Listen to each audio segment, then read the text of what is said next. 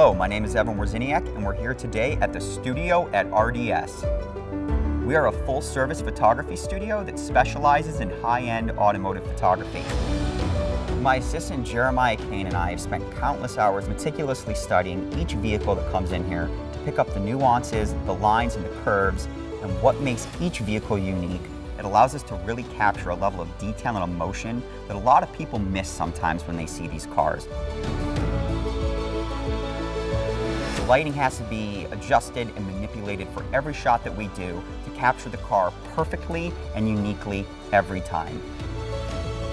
This week we have a really exciting and special project going on. We were tasked with capturing six cars, 12 images each car for national campaign. We have a 1966 Corvette Stingray and a 1937 Cord. For 1937, the Cord was the first car to have pop-up headlights. It's front-wheel drive, which allowed it to sit a little bit lower. And as you can see behind me, we have a very special car in our studio today.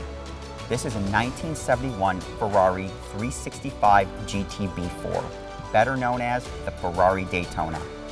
Between 1968 and 1973, only 1,284 of this special car were produced. We're really proud of the space that we've created here, starting with the customer lounge up front that allows us to sit with you and conceptualize ideas for shoots, down to the studio that we're standing in. We invite you down here anytime to bring your vehicle and present the next exciting challenge for us to conquer. Thank you for joining us, and I got to get back and finish this Ferrari. We'll see you soon.